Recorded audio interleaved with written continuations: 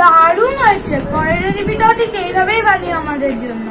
Please like করবেন please comment করবেন please share করবেন এবং চ্যানেলটিকে সাবস্ক্রাইব করতে ভুলবেন না। আর পাশে থাকা বেল আইকনটাকে অবশ্যই প্রেস করে দেবেন।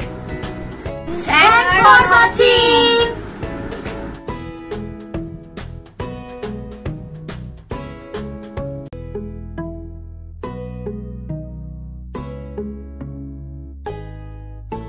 জাস্ট দারুণ